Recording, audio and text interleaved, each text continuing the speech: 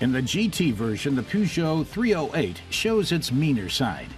The engine suspension, interior, and equipment features are all tailored to assertive drivers without any sacrifice of comfort. Car tester Andre says this model is to France what the Golf GTI is to Germany. He'll show us what the sporty compact family car can do. A 308 GT comes with two different engines. There's a 2-liter diesel with 133 kilowatts and 6-speed automatic transmission. Alternatively, a more powerful 1.6-liter gasoline unit with a 6-speed manual transmission sporting 151 kilowatts of output. We'll check out the gasoline version.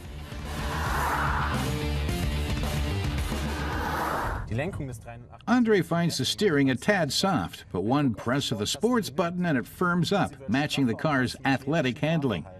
The dials shift to red, and there's a sporty roar. But sadly, the sound doesn't come from the exhaust or engine. It's an artificial noise boost.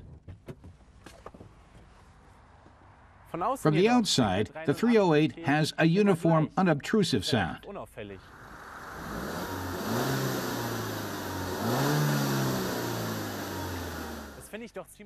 Andre would rather hear the actual THP 205 engine, not a fake sound out of the loudspeakers. The engine has plenty of power, at 1,750 RPM, already delivering a maximum torque of 285 newton meters.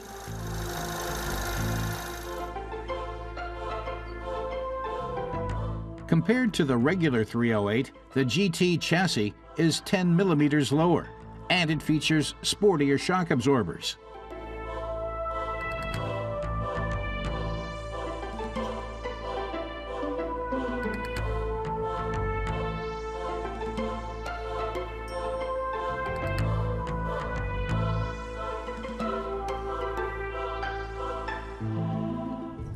Andre reminds us this gasoline version is stick shift only, but it shifts smooth as butter. The gear knob might look like a design frill, but when you shift into fourth, it's ergonomic and has a nice feel.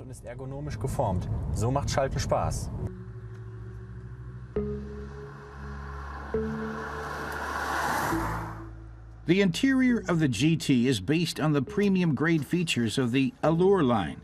The instruments are lined with trim, and the most important data shows up on a small central display.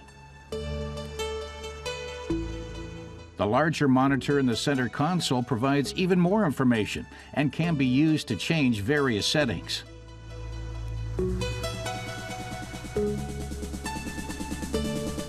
Red stitching on the upholstery and the seats are a stylish allusion to the car's sporty qualities.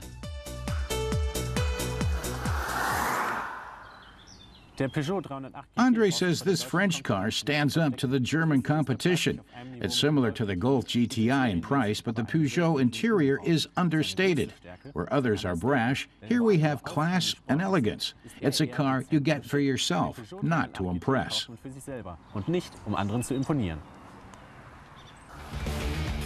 In the gasoline-powered sedan version, the GT costs just under 30,000 euros in Germany.